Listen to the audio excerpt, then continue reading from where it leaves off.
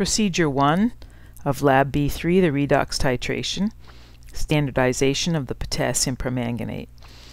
The standard that we'll use is iron 2 sulfate heptahydrate.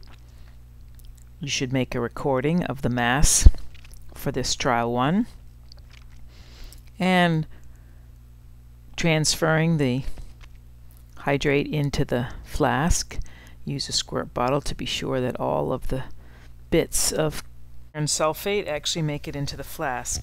Next we'll be sure and add the sulfuric acid as well as phosphoric acid. Both will be sure that the reaction will produce the correct oxidation state of the manganese.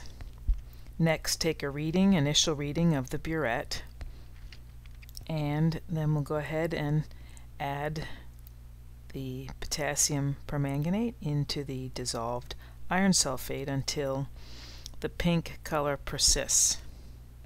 We'll allow the permanganate to continue until all of the iron ions are used up in the flask and when the next final or last drop of permanganate no longer can react because the iron has been used up, the pink color will remain.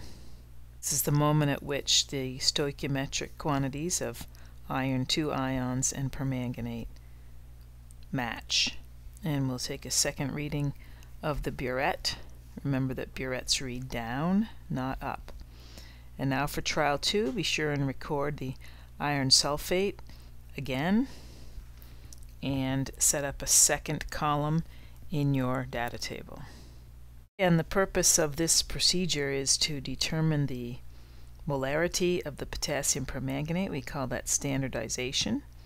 The iron sulfate is serving as our primary standard. It's a very stable compound that when we measure a certain mass we can feel confident that indeed we are aware of the moles of the chemical that are actually in the flask.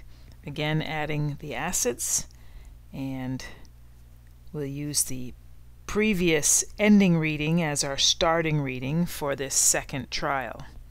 Allow the permanganate to run, the titration to proceed. I've got it on faster speed again. Again, what's happening is we're pouring in enough permanganate. The color immediately disappears because all of the products are colorless.